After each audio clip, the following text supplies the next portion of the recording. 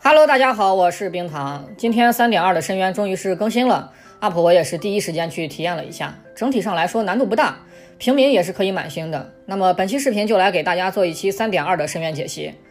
首先九层十层还是老样子，白给层，没有什么需要注意的地方，有啥带啥，无脑莽伤害就行了。十一层有一个小难点，十一杠三的下半放了一个无相草，要求大家必须带一个草属性的角色，这个是属于怪物机制啊，没有什么办法。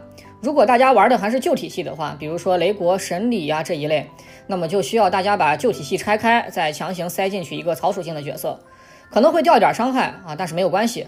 这个无相之草整体上来说血量不算高，掉一点伤害也是随便打的。再来看一下十二层上半的难度其实是比下半要多的。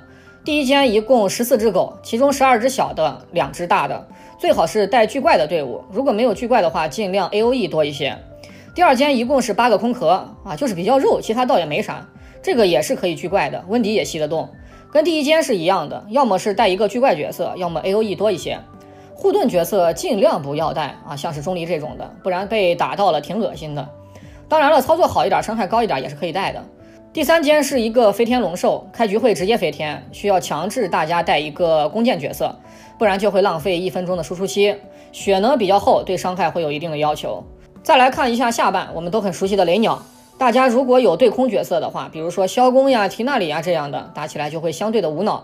近战角色就要稍微熟悉一下怪物的机制了，需要抓它落地的时机来打，尽量不要拿雷国打啊。反正我试了一下，我的香菱和星丘伤害是不够的，打不掉。